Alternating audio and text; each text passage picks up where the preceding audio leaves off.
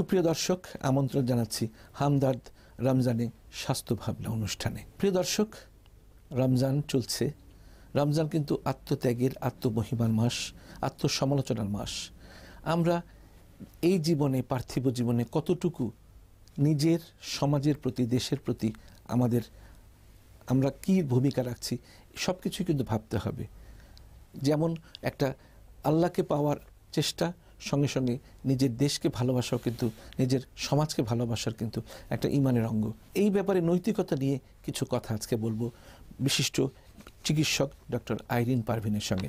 Doctor Irin Parvin অনুষ্ঠানে স্বাগত জানাচ্ছি। কেমন আছেন? জি ভালো। আপনি ভালো আছেন? ভালো আছি। রমজান মাস আমরা তো পুরো এগারোটি মাসই আমরা যারা আমি বলি যে সোকল প্রিভিলেজ গ্রুপ যারা আছি ভালো খাই, ভালো থাকি, আল্লাহ আমাদের ভালো রাখেন। কিন্তু যারা গরিব, বঞ্চিত, অসহায়, তারা কিন্তু, তারা বোঝে ক্ষুধার যাতনা কি। তাই না? অনেক সময় একবেলা খায়, অনেক সময় খেতে পায়ও না। যদিও বর্তমানে অনেক মানে দারিদ্রতা অনেক কেটে গেছে। তারপর আমি বলি যে, এই যে রমজান মাস এসেছে, আমরা যদি একটু ফেকাই যে আমরা কি খাই তারা কি খায় এই ভাবনাটা যদি করি তাহলে কিন্তু তারা তাদেরও কিন্তু একটা বড় পাওনা হয়। আমরাও বুঝতে পারি তাদের কষ্টটা। মানে কীভাবে আপনি আপনি নিজেকে কীভাবে মূল্যায়ন করেন তাদের প্রতি? আমার কাছে যেটা মনে হয় যে আমরা যারা প্রিভিলেন্স তারা আমরা সব সময় খাবার দাবার এসবের প্রাচুর্যের মধ্যেই থাকি। তা আমরা যদি মনে করি যে এই রমজান মাসে অ্যাটলিস্ট আমরা প্রত্যেকটা সলভেন্ট ফ্যামিলি দুইটা করে পরিবারকে বা দুইটা মানুষকে হলেও আমরা ইফতার বা সেরি বা সেই সেরি খাওয়াই যদি আমরা হ্যাঁ, খাওয়াটা হেল্প করি। হেল্প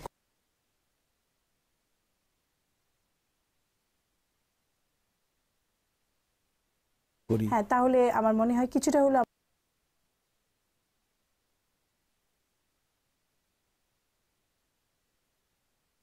আমরা প্রতিটা ফ্যামিলি থেকে যদি করি তাহলে কিছুটা হলেও আমরা লাঘব করতে পারি। আমাদের হয়তো বা দেখা যাচ্ছে বাসার পাশেই এমন কেউ আছে হয়তো পাচ্ছে না। সেটা যদি প্রত্যেককে অনেস্টলি দিই আমার মনে হয় তাহলে ঘরে ঘরে কিছুটা হলেও কিছুটা আমি মানে রসুল্লাহ সাল্লাহামের সময় এমন হয়েছে অবস্থা হয়েছিল যে জাকাত দেওয়ার মতো কোনো লোক ছিল না। এভাবে মানে হিসাব করে জাকাত দেওয়া হতো। তা আমাদের দেশের কয়জন লোক হিসেব করে জাকাত দেয় সেটাই। চিন্তা করতে হবে। জাকাত দিয়ে আরও কথা শুনব আপনার কাছ থেকে। আরেকটা কথা হচ্ছে যে আমাদের দেখা যায় যে গৃহিণীরা টেবিল ভর্তি করে রকমারি ইফতারে বাহার সাজান। কিন্তু এত খাবারের তো প্রয়োজন ছিল না। এই খাবারগুলো যদি টাকা আমাদের একটু সেভ করে যদি আমরা গরিব অসহায়দের অসহায়কে দিতে পারি প্রতিটা দিন কয়টা আইটেম কম রেখে ওই টাকাটা আমরা ভাগ করে দিই তাহলে অনেকটাই অনেকটা। দারিদ্রতা দূর হয় অনেকের মুখে হাসি ফোটানো যায়। ডক্টর আইরিন পারভিন আমরা জানি যে রুয়াবজা একটা বড় একটা খুবই উন্নত মানের একটা শরবত যেটা কিন্তু অনেক ধরনের পুষ্টি গুণে গুণান্বিত। তো আমরা ইচ্ছা করলে কিন্তু হামদার্দ ফাউন্ডেশন তো অনেক কিছুই করছে গরিবের জন্য দারিদ্র বিমোচন করার জন্য অনেক কিছু করছে। আমরাও কিন্তু আহ, অনেক অনেক অনেক গরিবকে কিন্তু একটা করে রুয়াবজার বোতল উপহার দিতে পারি। হ্যাঁ এরাও খুশি এটা হবে। তারা খুশি হবে। অনেকে দেখা যায় যে দোকানে দেখে বাচ্চারা একটা লাল পানীয় ভিতরে কি আছে? কখনো তারা টেস্ট করতেও পারে না। এটা করে আমরা তাদেরকে দিতে পারি এবং এর মধ্যে যেহেতু অনেক নিউট্রিশন আছে আমরা পারি সেই নিউট্রিশনটা ওদেরকে স্বাদ আছে কিন্তু সাধ্য নেই কিনা. তো সেটি আমরা অনেকভাবেই সহযোগিতা করতে করতে পারি। আর নিরাপদ পানির অভাবে আপনার আপনার অভিজ্ঞতা কি বলে? কি কি ধরনের রোগ হতে পারে? এক নম্বর কথা প্রথমে আসব ডায়রিয়ার কথা। ডায়রিয়া কলেরা এই পানি জাতীয় যে অসুখগুলো আছে সেগুলোর জন্য নিরাপদ পানি অনেক অংশই ভূমিকা পালন করে। কারণ নিরাপদ পানীয় যদি না খায় পেটের পীড়া এমন অবস্থা ধারণ রাইট যে তার রোজাই নষ্ট রোজাই নষ্ট হবে। তার আর রোজাই রাখতে পারছে না ডিহাইড্রেশনে ভুগতেছে। পেটের ডায়রিয়া শুরু হয়ে গেল হাসপাতালে নিতে হচ্ছে কিংবা টাইফয়েড ডেভেলপ করল। পানিবাহিত হ্যাঁ। পানিবাহিত রোগ যেহেতু। আপনি একজন মহিলা রোগ বিশেষজ্ঞ হিসেবে আপনি কোন ধরনের রোগী বেশি পান এরকম? এই রমজান মাসে বিশেষ করে ইউটিআই পেশেন্ট বেশি আসে তাছাড়া ডায়রিয়া রোগীও আসে আবার ওই অনেক ভাজা পোড়া খাওয়ার কারণে গ্যাস ফর্ম করে এসব রুগীও আমাদের কাছে আসেন। দেখা যায় যে তারা প্রপার খাবারটা প্রপার টাইমে খাচ্ছে না। আচ্ছা। যেমন অনেকে পানি পানিটাই হলো সবচেয়ে বড় একটা উপাদান। সে পানি খাওয়া থেকে বিরত থাকতেছে আবার ভাজা পোড়া খাচ্ছে। এই খাবার কারণে তাদের পেটে বিভিন্ন রকম সমস্যা হচ্ছে। কারও পেট কামড় দিচ্ছে কারও লুজ মোশন হচ্ছে। এর তারপরে বমি হচ্ছে। বমি হচ্ছে গ্যাস ফর্ম করছে। আবার সেই অনুযায়ী তারা ডিহাইড্রেশনটা যে হচ্ছে সেটা বুঝছেই না। আর এইটুকু সময়ের ভিতরে খাবার বেশি খাচ্ছে ফ্লুইডটা কম খাচ্ছে। এটা ফ্লুইড খুব বেশি খাওয়া উচিত ছিল। ডক্টর আইরিন পারভিন আরও অনেক কথা শুনব আপনার কাছ থেকে। একটি বিরতিতে যেতে হচ্ছে। প্রিয় দর্শক সময় হলো একটি বিরতিতে যাবার। ফিরছি কিছুক্ষণ পরই। ততক্ষণ আমাদের সাথেই থাকুন।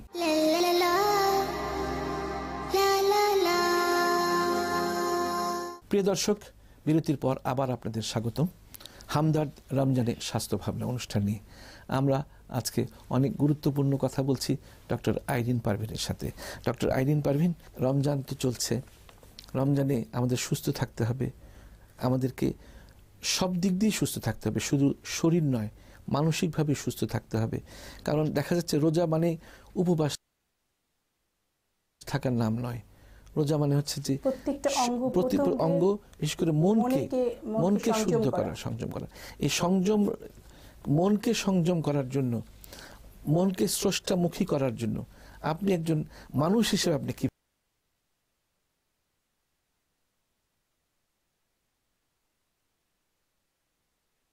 ভাবে চিন্তা করেন? আমার কাছে মনে হয় রোজা সংযম।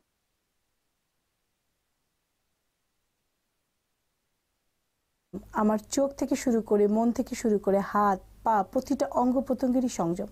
শুধু নাম আমি রোজা রোজা রাখা হলে কিন্তু আমাদের রোজা হলো হিসাবে যতটুকু আমরা মাপ নিতে পারি আল্লাহর কাছে। আল্লাহ ভাগ করেই দিয়েছেন আল্লাহ ভাগ করেই দিয়েছেন। রহমত মাগফেরাত নাজাত। তিনটা পার্ট করে দিয়েছেন। এবং আমরা রহমত শুধু নিজেরাই হব না আমরা যদি অন্যকে রহম করি তাহলেও আল্লাহ আমাদেরকে রহমতের ফজিলত দিবে একজন একজন মহিলা একজন আপনি একজন গৃহিণী আপনার কাজের মেয়ের কাজটাকে যদি লাঘব- করে দেন এটাও একটা তার জন্য রহমত আমার জন্য রহমত। প্রতিটা পদে পদে আমরা পারি করতে। কিন্তু ইচ্ছা শক্তিটা আমাদের বড় কথা। যারা মানে যাদের মন অতটুকু মানে খুব বেশি শক্ত তারা মন আমি মনে করি যে দয়া করে এই মাসটিতে একটু মনটাকে নরম করুন। নরম করুন অন্যের প্রতি সহনশীল হন। আস্তে আস্তে অভ্যাস হয়ে যাবে তখন। একটা মাসের একটা দিন একটা দিন করতে করতে অভ্যাসে হয়ে যাবে হয়ে নিজের। মনটাকে নরম করা। মনটাকে নরম করা। আরেকটা হচ্ছে যে এই রমজান মাসে আমাদের প্রচুর নামাজ পড়তে হয়। তাই না? প্রচুর নামাজ পড়তে এবং নামাজটা কিন্তু অনেক অনেকটা মানে আমি বলব যে খুব খুবই উন্নত মানের একটা এক্সারসাইজ যেমন মেডিটেশন হচ্ছে নামাজের মধ্যে। আমরা শুরু স্র- স্রষ্টামুখী থাকছি। প্রতিটা জয়েন্টের এক্সারসাইজ হচ্ছে। আপনি কি মনে করেন? হ্যাঁ অবশ্যই একটা এক্সারসাইজ আমরা যখন প্রতি নামাজের প্রতিটা পার্টি এক্সারসাইজ আল্লাহ আমাদের যেই করেছেন সব সায়েন্টিফিক আমরা যখন সালাম ফিরি তখন চোখের ইবাদত হচ্ছে উঠছি বসছি হচ্ছে। ইবাদত হচ্ছে আমাদের ব্রেনে ব্লাড সার্কুলেশন বেশি যাচ্ছে সেজদায় গেলে রুকুতে গেলে তারপর আমরা যখন সেজদায় বসছি জয়েন্টের মুভমেন্ট হচ্ছে ব্লাড সার্কুলেশন বেড়ে যাচ্ছে এগুলো সবগুলো একটা নামাজের একটা সিগনিফিকেন্স অবশ্যই আছে। একজন ডায়াবেটিস আক্রান্ত রোগী তিনি যদি এই পাঁচ অক্ত নামাজের সঙ্গে সঙ্গে যদি তারাবি আছে বেতের আছে কেয়ামুল লাইল আছে তাহলে তার কিন্তু আলাদা করে এক্সারসাইজের প্রয়োজন হয় না প্রয়োজন হয় না।